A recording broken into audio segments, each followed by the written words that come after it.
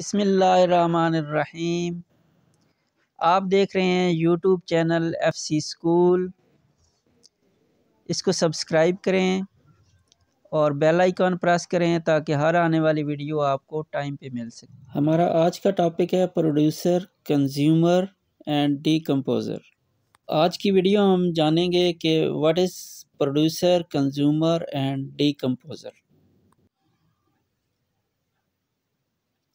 living things जो होते हैं, उनको हम तीन कैटेगरीज़ में डिवाइड कर सकते हैं।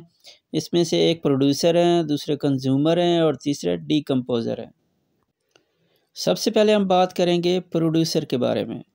Organism which makes their own food is call producer ऐसे लिविंग थिंग्स जो अपना फ़ूड खुद बनाते हैं, उनको प्रोड्यूसर कहते हैं।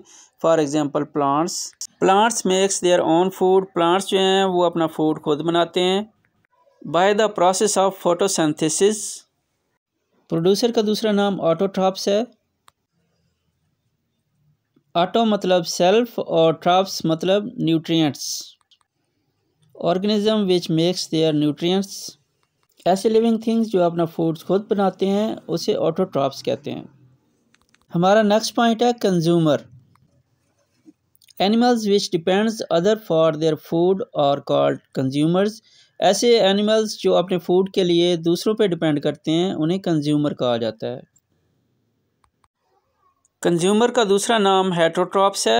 हेट्रो मतलब अदर्स ट्रॉप्स मतलब न्यूट्रिएंट्स फॉर एग्ज़ाम्पल इसकी एक मिसाल देखते हैं। इसकी मिसाल एक है एलिफेंट एलिफेंट को हम कंज्यूमर इसलिए कहते हैं कि ये अपना फ़ूड खुद नहीं बना सकता, ये प्लांट्स पे डिपेंड करता है। कंज्यूमर को हम थ्री पार्ट्स में डिवाइड कर सकते हैं। नंबर एक हार्बीवोरस नंबर दो कार्निवोरस नंबर थ्री ओमनीवोरस आगे हम बात करेंगे डीकम्पोज़र पे। ये ऐसे ऑर्गेनिज्म होते हैं जो मरे हुए जानवर और पौधे खाकर सरवाइव करते हैं।